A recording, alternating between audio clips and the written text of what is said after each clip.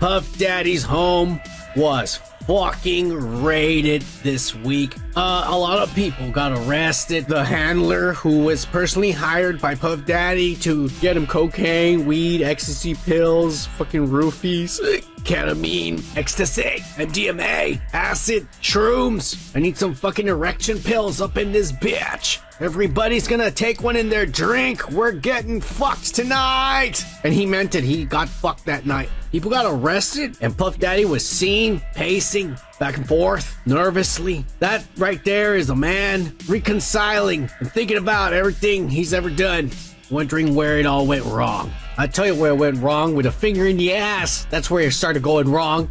Dumbass. Look at him pacing. He's probably saying, Man, I should have never let that pastor finger me in the ass. That's when it all changed. When he did that.